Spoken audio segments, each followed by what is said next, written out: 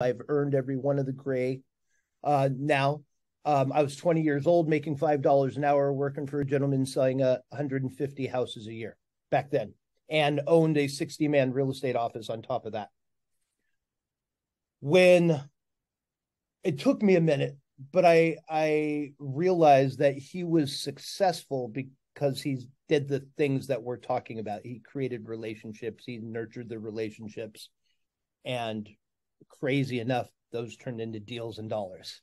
Wild, wild stuff in real estate.